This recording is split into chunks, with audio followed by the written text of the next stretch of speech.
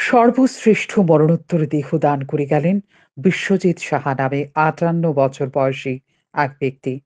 কিন্তু মৃত্যুর পর মিলল না সম্মান, বরং পরিবারের লোকজনদের দুর্ভোগ পোহাতে হলো জিবি হাসপাতালে। মৃতদেহ নিয়ে দিনভর হাসপাতালে দাঁড়ে দাঁড়িয়ে হয়রানির শিকার হতে হলো পরিবারের লোকজনদের।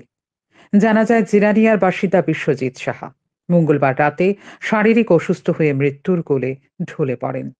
আইজিএম হাসপাতালে নিয়ে যাওয়ার পর চিকিৎসক মৃত বলে ঘোষণা করে।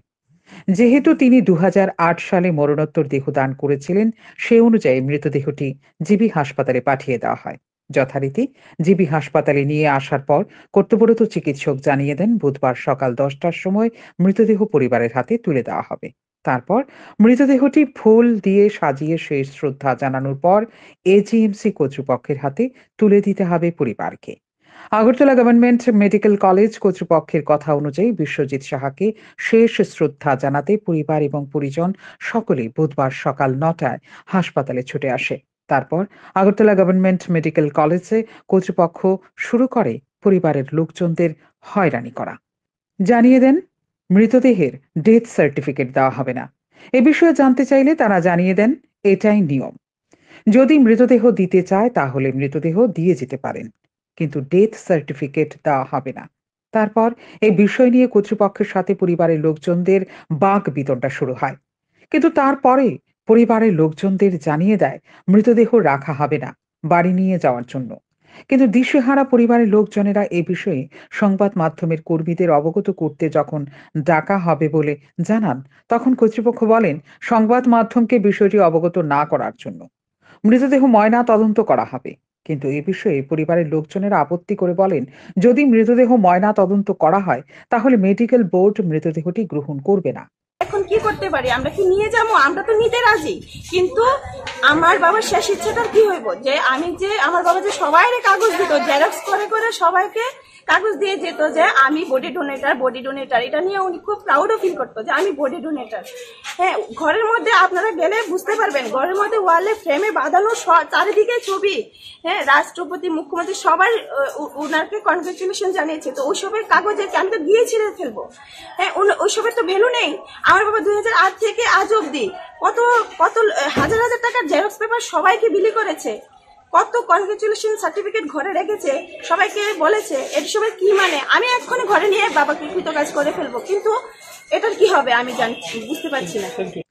তারপর বিষয়টি ঘোলা জলে পরিণত হয়। পরিজনেরা অনেকে জানান বিশ্বজিৎ সাহা যখন মরণোত্তর দেহ দান করেছিলেন তখন ওনাকে সরকারের পক্ষ থেকে শুভেচ্ছা জানানো হয়। তিনি উৎসাহিত হয়ে মানুষকে মরণোত্তর দেহ দান করার জন্য বলেছিলেন। ঘরে সরকারের শুভেচ্ছা বার্তা ঝুলিয়ে মানুষকেও উৎসাহিত করেছিলেন। কিন্তু মৃত্যুর পর এতটা যে হয়রানির শিকার হতে হবে পরিবারকে, সেটা তিনি জানতেন না। এই বিষয় নিয়ে পরিবারের যারা মরণোত্তর দেহদান করতে উৎসাহিত ছিলেন, তারাও এদিন স্পষ্ট জানিয়ে দেন, এখন আর ইচ্ছে শক্তি নেই তাদের। বারো ঘণ্টা অতিক্রান্ত হয়ে গেছে মৃতদেহ নিয়ে তাদের নাস্তা নাবুদ হতে হচ্ছে বলে অভিযোগ তোলেন তারা। আমরা অনেক বেজারতা করছি যে আমাদেরকে এমন একটা সুযোগ দেন, আমরা বাড়িতে যেটা নিয়ে বাড়িতে নিয়ে তাদের আত্মীয় স্বজনকে দেখামো দেখাই একটু পুরোহিতের সঙ্গে আমরা একটু করণ কারণ কইরা আইনা দিয়া দিব হ্যাঁ এইটার একটা কাগজ দেন তাই নিয়ে যে ডেড ডেড সার্টিফিকেট না দেন, কিন্তু একটা কাগজ তো দিবেন যে এই ব্যক্তিটা মৃত্যু। কাগজও দেয় না, কয় আমরা কোনো কিছু দিব না, আপনারা প্রয়োজন হইলে লইয়া যান। আমার প্রশ্ন হয়েছে যে রাত্রি কইটার তো?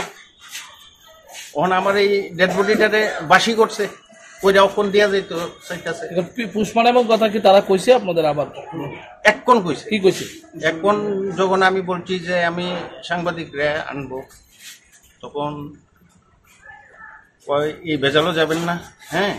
এই আমরা পোস্টম্যাডাম কইরা বডিটা দিয়ে দিব এরপরে আপনারা আইন ইয়ে করবেন। আমি কইছি যে পোস্টম্যাডাম যদি করেন, তাহলে তো তাইনেরে আর মেডিকেল বোর্ডে গ্র্যান্ড করতো না।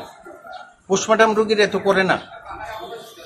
শেষ পর্যন্ত দুপুর তিনটে নাগাদ মৃতদেহ পরিবারের হাতে তুলে দেওয়া হয়। তারপর পরিবারের লোকজনেরা মৃতদেহ বাড়িতে নিয়ে যায়। বলা হয়, যথাযথ মৃতদেহটি আগরতলা গভর্নমেন্ট মেডিকেল কলেজ কর্তৃপক্ষের হাতে তুলে দেওয়ার জন্য। মৃতদেহ পরিবারের কাছ থেকে গ্রহণ করে প্রশাসনিক নিয়ম অনুযায়ী ডেথ সার্টিফিকেটের ব্যবস্থা করে দেওয়া হবে। তবে এদিন আগরতলা গভর্নমেন্ট মেডিকেল কলেজের কাণ্ড জ্ঞানহীনতায় মরণোত্তর দেহ দানের মতো কাজ থেকে উৎসাহ হারিয়েছে প্রত্যক্ষদর্শীরা। তবে এটা দায়সারা মনোভাব নাকি অভিজ্ঞতার অভাব রয়েছে কর্তৃপক্ষের? সেটাই এখন প্রশ্ন। সান্দন টিভি